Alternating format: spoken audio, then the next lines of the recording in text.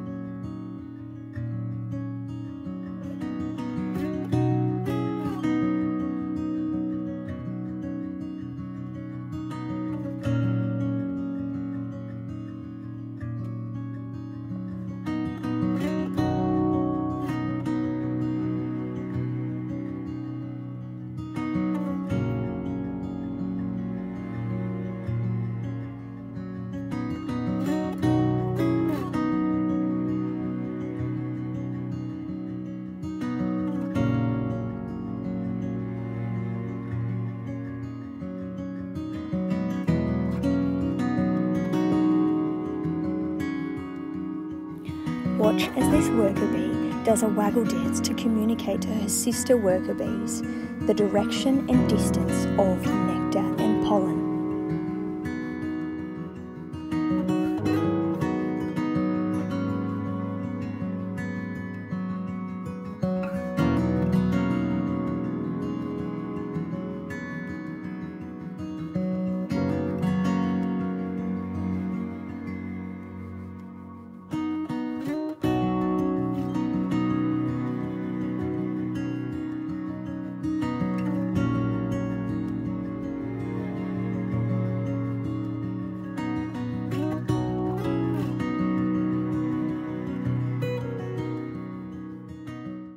we have a beautiful gluten-free Devonshire tea, which I have never had before, with their home-brewed um, black tea that's honey infused. I'm excited to try that.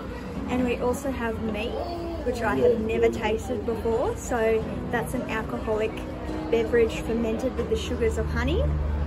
So here we go. Cheers.